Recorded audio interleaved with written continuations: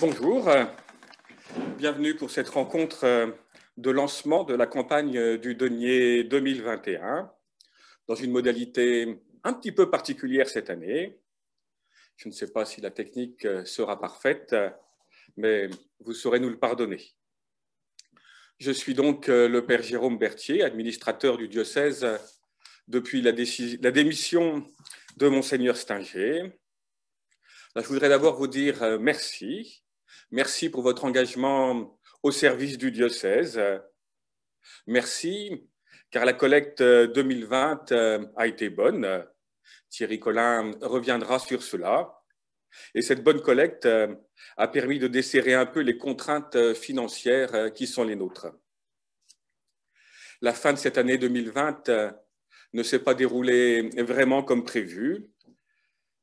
À la crise sanitaire, s'est ajouté l'AVC de notre évêque, sa démission à sa charge d'évêque de Troyes, le 28 décembre, ce qui a conduit le Collège des consulteurs euh, à m'élire administrateur diocésain le 30 décembre.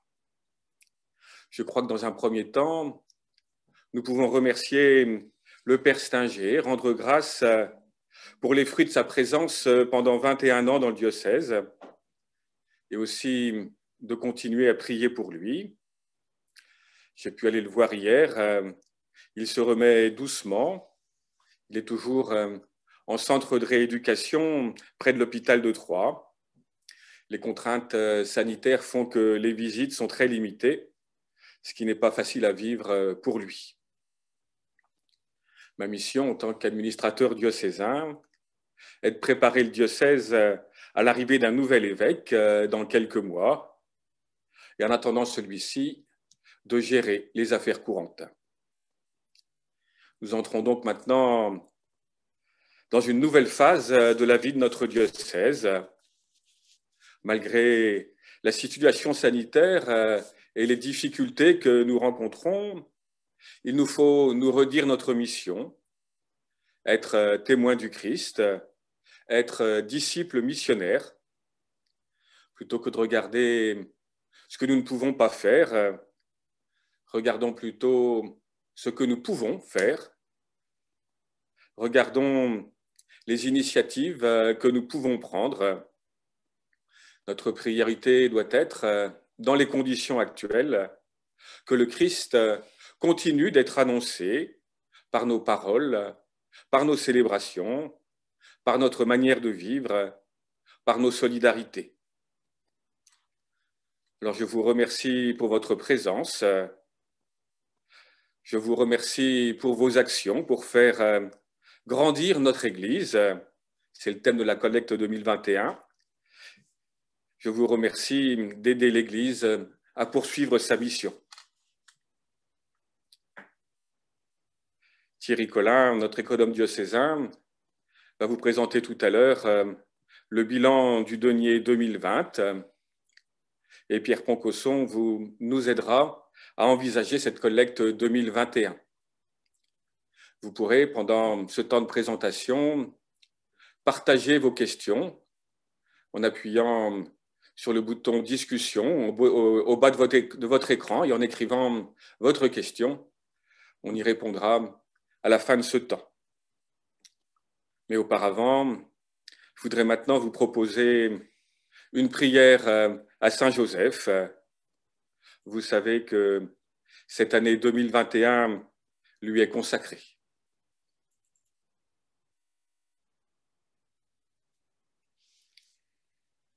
Saint Joseph,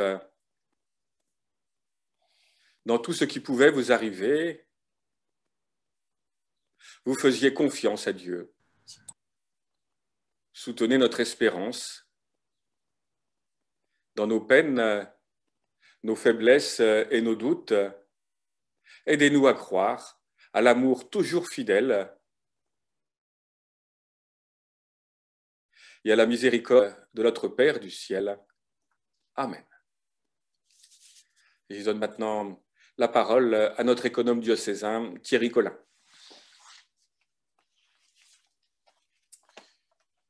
Eh bien, bonjour à tous. Merci d'avoir euh, consacrez votre samedi matin au lancement du denier 2021. Donc, je suis Thierry Collin. L'année 2020 a été difficile, éprouvante. L'année 2021 se présente euh, de bien meilleure manière. Donc, je compte euh, sur vous pour que nous fassions ensemble une très bonne année de collecte 2021 pour le denier. Mon intervention sera répartie en deux parties. D'une part, je ferai un petit rappel sur le sens du denier, et puis dans un second temps, je vous présenterai le bilan que vous attendez. Le denier, c'est quoi? La collecte du denier, c'est la collecte qui finance les frais de personnel du diocèse, c'est-à-dire la rémunération des prêtres, le salaire des laïcs employés par le diocèse, et aussi la rémunération de quelques religieuses qui travaillent directement pour le diocèse. Les, frais de personnel, c'est 50% des dépenses du diocèse au global. Le reste, c'est à peu près un quart pour les frais immobiliers et un autre quart pour les frais généraux. la collecte du denier est donc une collecte importante, stratégique pour le présent et pour l'avenir du diocèse. Pour vous parler du sens du denier, je vais appeler euh, Saint Paul. On, l'a entendu dimanche dernier dans la deuxième lecture qui nous disait Malheur à moi si je n'évangélise pas eh bien, euh, quand vous donnez au denier, vous évangélisez déjà. Il est important de le dire à ceux qui euh, vous écoutent. Quand vous donnez au denier, vous évangélisez déjà. Quand vous donnez au denier, vous rendez possible la présence et l'activité missionnaire des prêtres. On est bien conscient que les prêtres, dans toute leur activité, par le culte, par l'enseignement, par toute l'animation, la coordination, la direction des paroisses, et puis de la curie aussi, euh, anime l'évangélisation, l'annonce de la bonne nouvelle. C'est bien clair du côté des salariés en pastoral, toute leur activité est tournée vers l'annonce de la parole de Dieu, de la bonne nouvelle. C'est vrai aussi pour les salariés que nous appelons administratifs. Hein, toute l'équipe de la communication passe à toute son activité qui est tournée vers l'annonce de la bonne nouvelle à travers les messages sur Internet, les mails, euh, la presse, la revue diocésaine, tous les messages qui sont préparés et diffusés. La repro, c'est la même chose. Toute l'activité de reprographie conduit à produire des affiches, des tracts, des supports de pastoral qui contribuent à l'annonce de la bonne nouvelle. Et même les équipes encore plus administratives que sont l'équipe de ménage, l'équipe de maintenance, l'équipe de l'économa, sont absolument nécessaires au fonctionnement du diocèse et on n'imagine pas l'état de la maison diocésaine si personne s'occupait d'en faire le ménage. Je vous laisse imaginer les choses. Ou si on travaillait, on n'avait pas une petite équipe euh, salariée pour la comptabilité qui, avec les trésoriers et les comptables, assure euh, la pérennité du fonctionnement financier du diocèse. Un autre aspect, c'est que annoncer le denier à ceux qui ne donnent pas encore, c'est les aider à grandir dans la foi. C'est évangéliser. Prenons une comparaison, prenons un, jeune couple euh, qui commence à se à se fréquenter et à préparer un projet de vie commune. Ils ont des émotions, ils font la fête ensemble, ils font tout un tas de choses ensemble. Si à un moment, ils ne se décident pas à parler d'argent, à, penser au logement qu'ils vont prendre, le loyer ou l'achat, à parler de la répartition entre leurs vacances, l'achat des voitures et toutes les autres dépenses, eh bien, ils ne vont pas grandir dans, leur vie de couple, ils ne vont pas devenir un couple mature qui va durer. Eh ben, c'est la même chose pour les chrétiens. Quand vous annoncez le denier, vous aidez les chrétiens à grandir dans une conscience incarnée de ce qu'est une vie d'église, une vie de communauté d'église. Le deuxième axe pour vous parler du sens du denier, eh ben, je vais tout simplement convoquer euh, la séquence de l'obol de la veuve dans Saint Marc au chapitre 12, à la fin du chapitre. Jésus, était euh, assis dans le temple en face de la salle du trésor et il regardait comment, euh, comment les foules y mettaient de l'argent. Le premier enseignement que nous tirons de ce début de séquence, c'est que Jésus s'intéresse au fait que nous donnons. Et Jésus s'intéresse au fait que nous donnons et aussi comment nous donnons. Et la, fin de la séquence, nous voyons Jésus qui rassemble les disciples pour s'émerveiller du fait que la veuve a donné de son nécessaire, elle a donné de son indigence, elle a fait un don généreux. Donc nous pouvons tirer de cette petite séquence le fait que dans notre annonce du denier, nous devons vraiment mettre l'accent vis-à-vis des donateurs sur le fait que quand ils prennent ce document en main, Jésus est là qui les regarde. Et quand ils font un don généreux, ils touchent le cœur de Dieu. Merci. Donc, pour terminer cette petite séquence sur le sens du denier, je vous dirais simplement que le denier est au cœur de notre vie de communauté chrétienne et au cœur de notre chemin de sainteté. Donc c'est le, message que je vous demande de relayer vis-à-vis des personnes que vous rencontrerez. Passons maintenant au bilan 2020. la première diapositive présente les résultats de la collecte.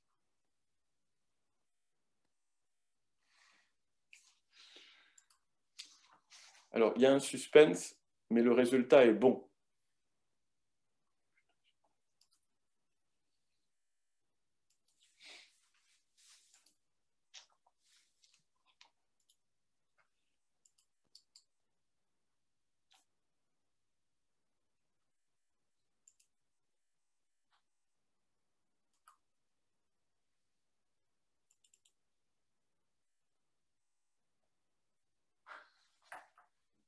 Voilà. Alors, nous voyons tout à droite que nous avons collecté en 2020 978 000 euros.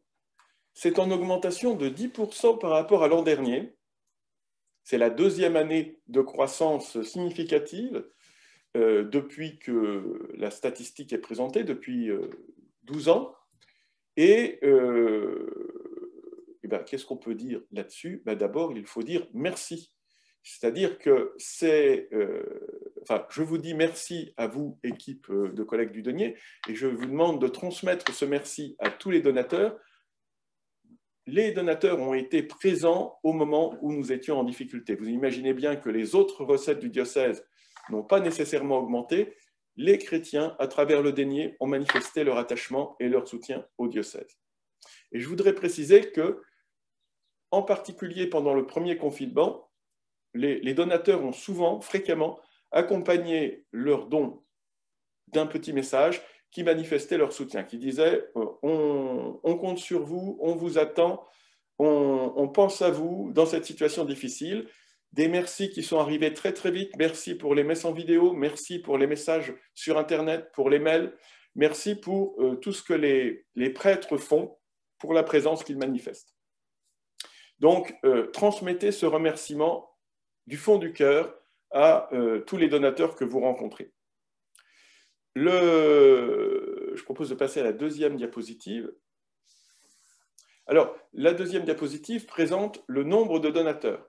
On constate que ce nombre, il a un peu baissé de 3750 à presque 3600, une baisse de 150 donateurs, en gros.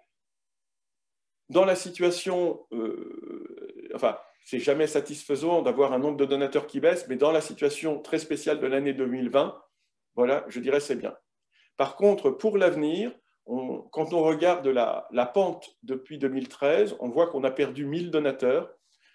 Ça fait deux ans que nous avons réussi à inverser en euros la baisse du denier. Il faut maintenant que, avec tous les correspondants du denier, on prenne la résolution d'inverser cette courbe de baisse des donateurs même si la baisse est modérée, même si elle est lente, on imagine bien qu'on ne peut pas la laisser filer indéfiniment. Donc il faudrait prendre la décision que quand on fera le bilan du denier 2021, eh ben, au lieu d'annoncer une baisse de 150, il faudrait qu'on annonce une hausse de 150. Ça, ce serait un bon objectif et on pourrait se, résoudre, décider de s'y attacher. Sur le, troisième diapositive, vous voyez l'évolution du don moyen du denier. Alors, il passe de 236 euros par donateur à 273. On perçoit bien que euh, c'est une augmentation de 20%. C'est vraiment une augmentation importante. Il n'y a pas que l'Église cette année qui a été en difficulté économique. Il y a plein de personnes qui ont souffert, soit directement, soit dans leur famille, de la, crise euh, du virus qui amène une crise économique. Donc là encore, transmettez aux donateurs notre remerciement pour leur générosité. Vraiment, ils ont manifesté euh, comment dire, un soutien extraordinaire. Si je peux avoir la, la diapositive suivante. Voilà, les prélèvements automatiques. Alors, il est intéressant de regarder les prélèvements automatiques. On voit que le montant augmente, la proportion de prélèvements automatiques reste stable, ainsi que le nombre de prélevés reste stable. C'est important de remercier particulièrement les personnes qui donnent en prélèvement automatique, dans la mesure où les, frais, de personnel, on les verse tous les mois. C'est une dépense qui est très régulière. Les, comment dire, les prélèvements automatiques permettent d'assurer une ressource régulière qui nous facilite la vie, y compris pendant les périodes, par exemple l'été, par exemple tout début d'année, où il y a peu de dons aux deniers. Donc là, ayez un remerciement particulier pour ceux qui acceptent de se mettre en prélèvement automatique et euh, encouragez ceux qui se posent la question en leur disant le denier est une dépense régulière, le denier finance une dépense régulière, avoir une recette régulière est très important pour nous. Diapositive suivante. Voilà, et une petite diapositive sur le don en ligne. Le don en ligne euh, représente 98 000 euros. On perçoit que c'est 10% de la collecte. C'est peu de donateurs en nombre. Euh, ça progresse, ça a presque doublé par rapport à 2019. On passe de 200 à 361, une augmentation de 80% pour être un peu plus précis.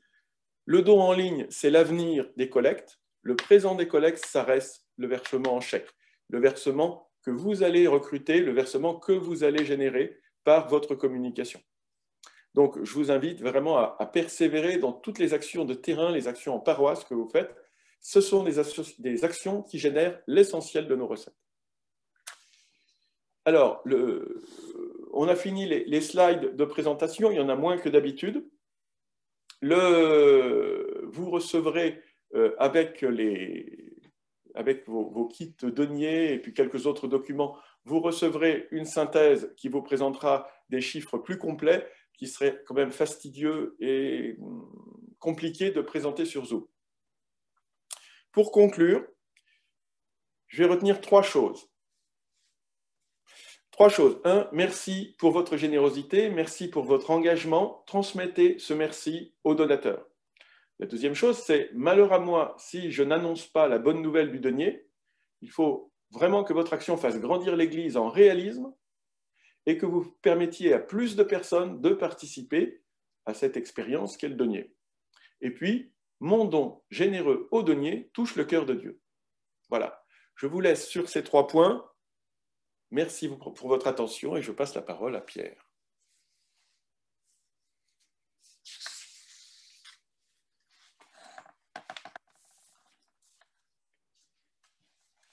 Eh bien, bonjour à tous. Je suis Pierre Concosson.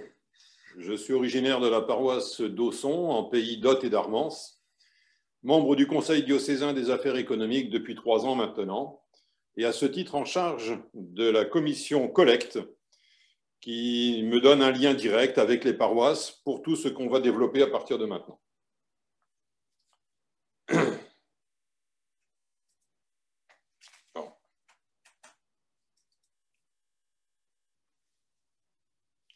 Pardonnez-moi. Ordinateur bloqué. Il faut que à autre chose.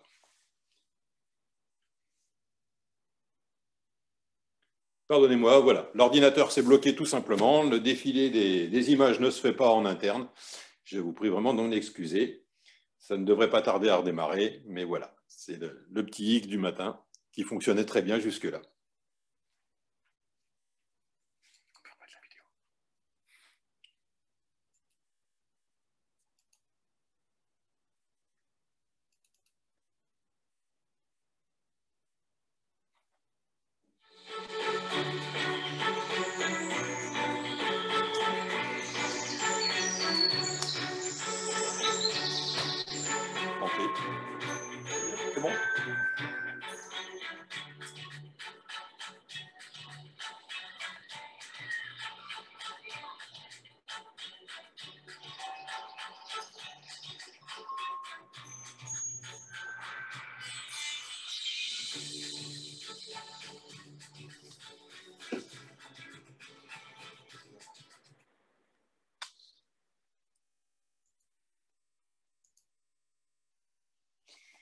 Eh bien, écoutez, donc ainsi que chaque année, le lancement du denier permet de découvrir les outils avec lesquels on va pouvoir aller à la rencontre des donateurs, les anciens, les futurs. Mais les outils de communication, nous le savons tous, ne peuvent permettre à eux seuls de réussir ce lancement. C'est aux assemblées paroissiales, dans leur ensemble, aux pratiquants fervents, aux occasionnels, aux bénévoles de toute la communauté que s'adresse ce message. Et pas seulement aux équipes économiques, et pas seulement aux deux ou trois personnes qui habituellement font la distribution des tracts. Avec nos curés, avec nos prêtres, avec nos diacres, il s'agit d'une adhésion de tous, une implication et un soutien nécessaires. Pour la première fois, cette campagne d'appel aux dons a été choisie conjointement avec 70 diocèses. En France, qui unissent leurs forces autour d'un seul et même message, l'Église a besoin du don de chaque fidèle. Nous espérons que cette unité entre diocèses permettra d'élargir l'impact de la campagne. Au niveau national, cette campagne d'appel aux deniers sera présente avec un, large plan auprès des médias. Et du coup, vous découvrirez certainement dans d'autres diocèses la même déclinaison de campagne. Mais rappelez-vous véritablement que cette campagne n'est pas adressée simplement aux fidèles. Elle est aussi à l'attention de tous les paroissiens, au sens de la communauté. Toutes ces familles pour qui l'Église représente encore des valeurs, voire, voire un refuge, en cela rappelé par les demandes différentes au cours de l'année de mariage, de baptême et de funérailles. Il est nécessaire d'établir un plan de communication intégrant également cette population en attente des services de l'Église. La campagne s'articule autour de deux grands messages, l'espérance et la proximité. L'espérance invite chacun des croyants à répondre à sa vocation de devenir saint. Ainsi, il a été choisi de placer en en-tête de l'affiche l'un des saints parmi les plus connus et les plus aimés de l'histoire de l'Église, Saint François d'Assise. Par sa vie, Saint François d'Assise a fait grandir l'Église, comme nous attendons aujourd'hui que nous le fassions nous-mêmes. Il porte une relation fraternelle avec tous, respectueux de chacun. Il n'exerce aucun pouvoir sur personne. Il ne fait pas de différence entre le riche et le pauvre, entre le fort et le faible. Il porte la paix à tous. Le message est fort et à entendre. Et le message est simple, chacun est appelé à, à la sainteté. Sur l'affiche, en regard du visage de Saint François d'Assise, est placé celui d'un homonyme du XXIe siècle, physiquement très proche d'ailleurs. Il s'agit de François, jeune baptisé, jeune baptisé pardon, vivant, vivant à Troyes aujourd'hui. Et puis bah, le message est clair, les catholiques de 2021 sont appelés, un par un, à faire grandir l'Église. Et pour cela, à faire un don pour le denier, un don en numéraire attendu de chacun d'entre nous. Un emailing au sein du diocèse est adressé à l'ensemble des curés, des prêtres, des équipes pastorales et des conseils économiques. Ce mailing comportera un certain nombre de documents que vous pourrez trouver dans une, dans une Dropbox, un espace de stockage en accès gratuit avec des fiches pratiques. Ces documents sont tous personnalisés au diocèse de Troyes et ils vous aideront à démarrer cette campagne 2021. Vous trouverez entre autres sur la Dropbox la présentation de la campagne du denier 2021, un accompagnement à réussir votre propre réunion de lancement. Important, on en reparlera un petit peu plus tard, cette fameuse réunion de lancement. Le rappel du symbole de l'offrande et son rapport avec le denier. Quelques pistes pour lever les objections dans les démarches que vous pourrez faire auprès des donateurs, et en particulier des nouveaux donateurs, et des, propositions d'annonces percutantes pour la messe. Bien évidemment, tous ces documents seront également personnalisés et disponibles sur le site Internet du diocèse. Vous y trouverez également quelques vidéos. Aussi, on vous demande de partager et de relayer ces documents d'une manière la plus large possible dans la limite du RGPD, toujours, on ne l'oublie pas. Un petit zoom sur les outils de la campagne. En paroisse, vous allez disposer des outils, dont en particulier une enveloppe FLAP au visage de Saint François d'Assise. Son avantage est de regrouper le bon de soutien et l'enveloppe retour à la fois. Facilité, qui dit facilité de réalisation, dit facilité de don. Plus c'est simple, plus l'acte de don est facilité.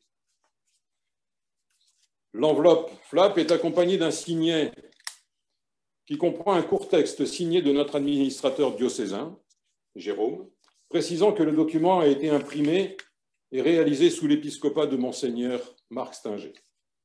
Et puis également une prière que nous pouvons lire et relire pour nous porter en ce début d'année.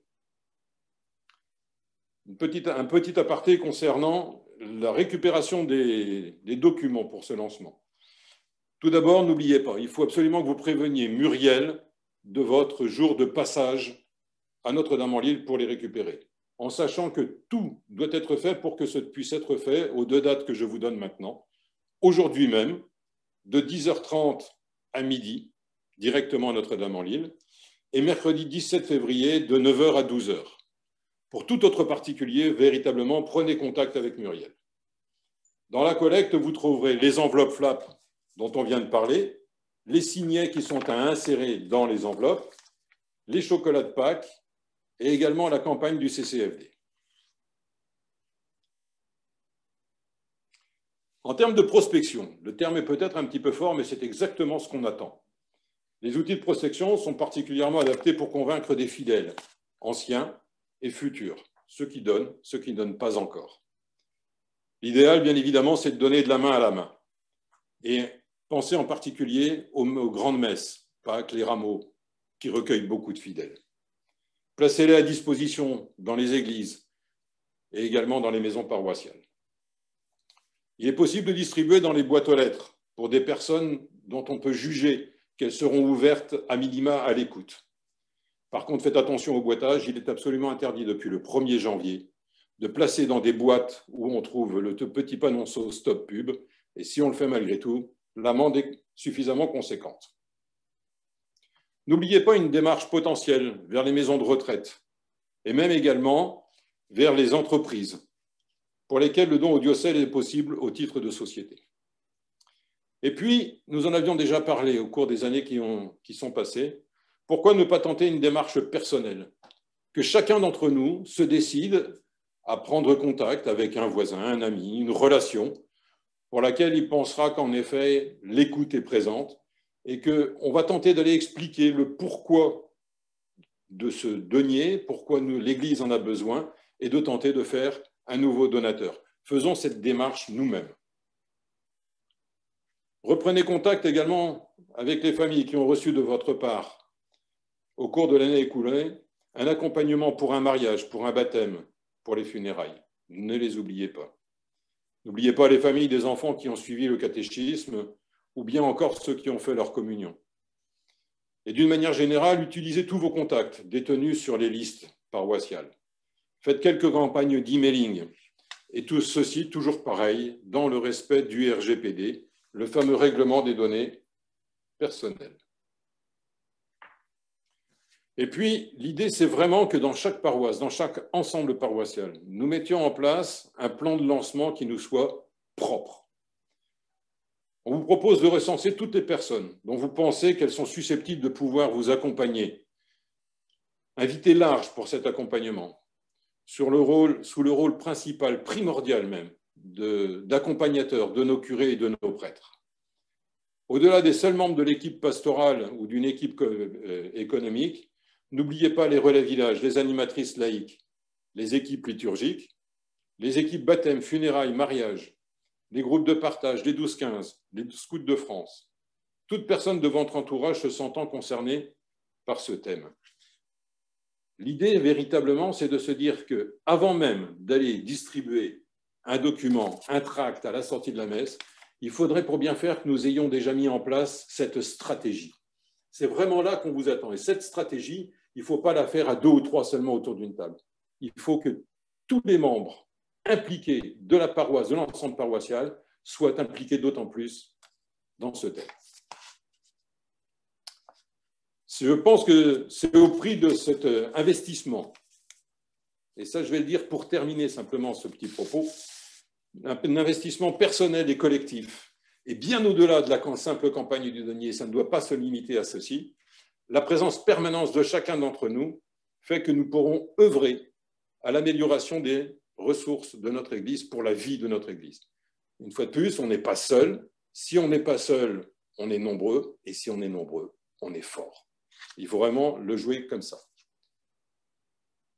François, s'il te plaît, est-ce que je peux avoir la vue Alors, une dernière petite chose avant de vous quitter. Euh, en tant que responsable de cette euh, commission collègue, je suis à votre disposition. Je suis à votre disposition pour échanger avec vous téléphoniquement, par mail, ou pourquoi pas également par un déplacement en paroisse. N'hésitez pas à me demander, tout simplement, je suis prêt à me déplacer. Voilà, vous avez mes, coordonnées qui s'affichent à l'instant, n'hésitez pas à les recopier, elles sont de toute façon récupérables sur le site et euh, auprès de Notre-Dame-en-Lille, n'hésitez pas. Je suis vraiment à l'écoute, aussi bien pour un accompagnement dont vous auriez besoin, mais également pour recevoir de votre part toutes les informations qui pourraient permettre d'améliorer sur l'ensemble des autres paroisses ce lancement du denier. À votre disposition, n'hésitez véritablement pas à prendre contact avec moi. Je vous en remercie, merci de votre écoute et à très bientôt. Merci Thierry, merci Pierre. Après la prière qui va conclure cette présentation, vous pourrez poser vos questions, les poser par écrit en appuyant sur le bouton Discussion qui se trouve au bas de votre écran. Concernant la prière que je vous propose, il s'agit de celle que nous sommes invités à dire régulièrement pour préparer notre cœur à l'accueil de notre futur évêque.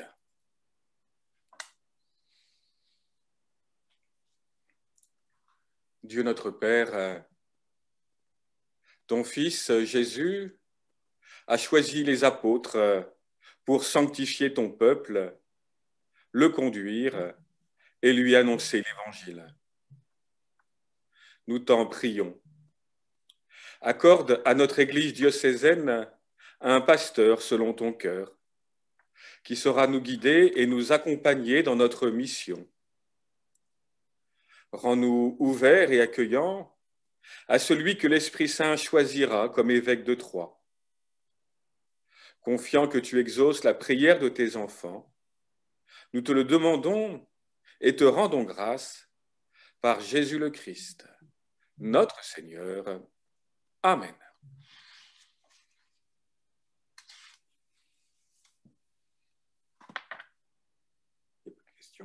Alors, est-ce qu'il y a des questions qui ont été posées? Pas pour le moment, mais n'hésitez pas. On va passer une fois le clip qui accompagne cette campagne euh, du denier, le temps de vous laisser écrire. Mm-hmm.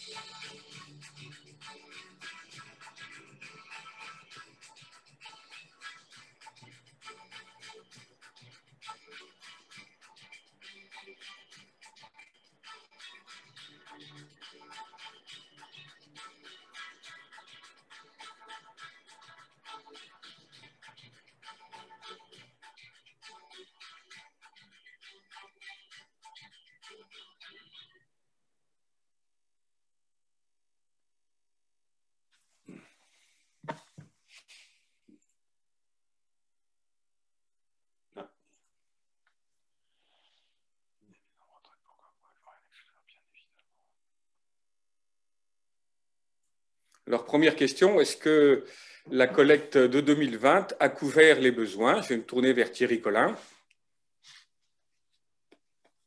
Alors, la, collecte, euh, la collecte 2020 n'a pas couvert les besoins, mais elle s'en est euh, fortement rapprochée euh, dans la mesure où, comment dire, enfin, on n'a jamais été si proche, d'une part, Et d'autre part, en 2020, il y a eu du chômage partiel euh, sur une partie de l'année pour les salariés qui a réduit euh, la dépense par rapport à l'année 2019. Euh, les chiffres précis sur le restant à couvrir seront calculés dans le cadre de la clôture des comptes et il est un peu tôt pour les donner. Mais on, on, a progressé. On a progressé des deux côtés. On a réduit la dépense en 2020 et on a augmenté la collecte. Donc on se rapproche de l'objectif. Comme on ne sera pas en chômage partiel tous les ans, il faut poursuivre nos efforts pour autant. Je vais me tourner vers Pierre maintenant sur la question des maisons de retraite.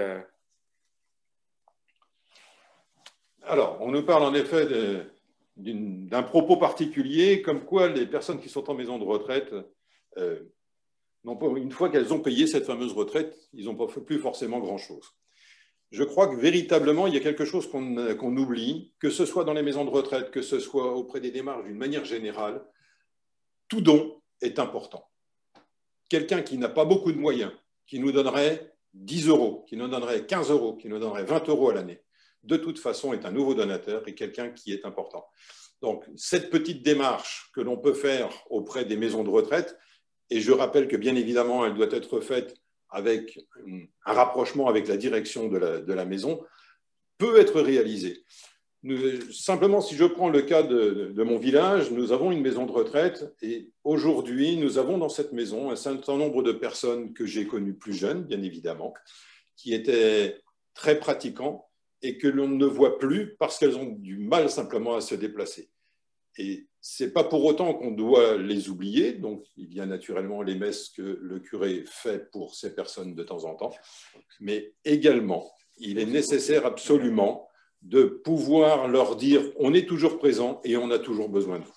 Voilà, c'est vraiment dans ce sens-là que je l'entends et qu'on a passé ce message. Toujours vers Pierre, euh, est-ce que nous aurons la possibilité d'avoir le tract en PDF il n'y a tout à fait aucun problème pour qu'on ait ce tract, et absolument. Je pense même qu'il est directement dans la Dropbox dont on a parlé tout à l'heure. Et si par hasard il n'y était pas, il y sera rajouté, c'est promis. Voilà, est-ce qu'il y a encore d'autres questions? Je sais que le, dialogue par chat est moins facile que quand on est rassemblés ensemble salle Val de Lille, mais cette année, il n'était pas possible de faire autrement. Je crois que je vais vous remercier pour euh, votre participation à, ce, à cette campagne 2021. Encore une question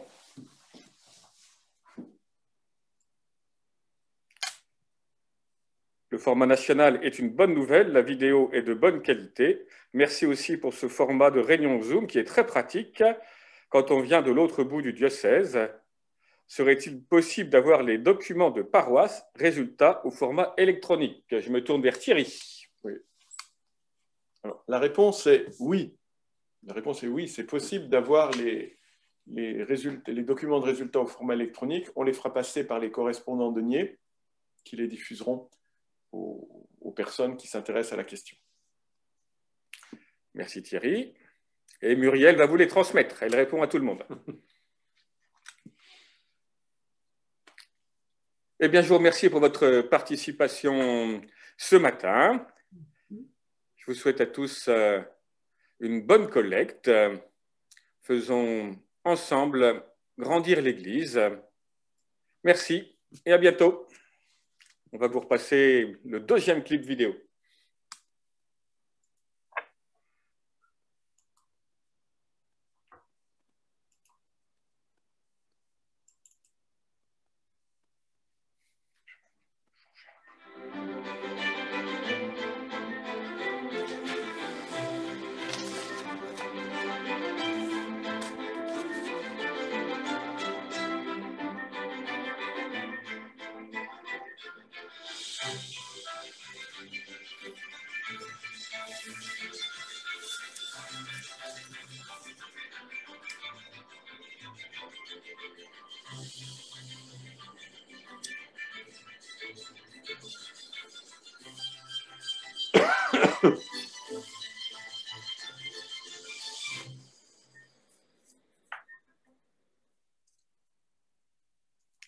Vous aussi, faites grandir l'Église. Merci. Et à bientôt. Et bientôt. Nous allons mettre fin à. Merci à tous de votre participation. Merci à tous. Fin.